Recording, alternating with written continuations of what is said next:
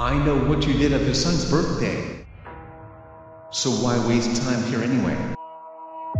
Well, the reason why I did that is because I want to get my revenge on you guys for taking me away from him. I will get him soon, and I mean, very soon to you Jack Paul. However, I needed some ideas to do for a plan. Maybe I can find him at the Floor A building, hopefully.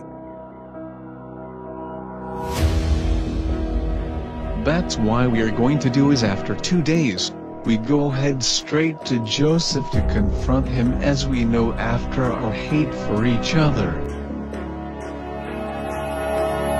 Let's do this together.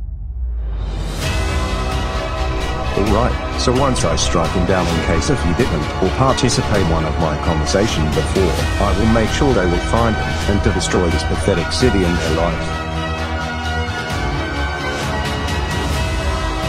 Bedroom furniture. Joseph man, why you gotta do this to me?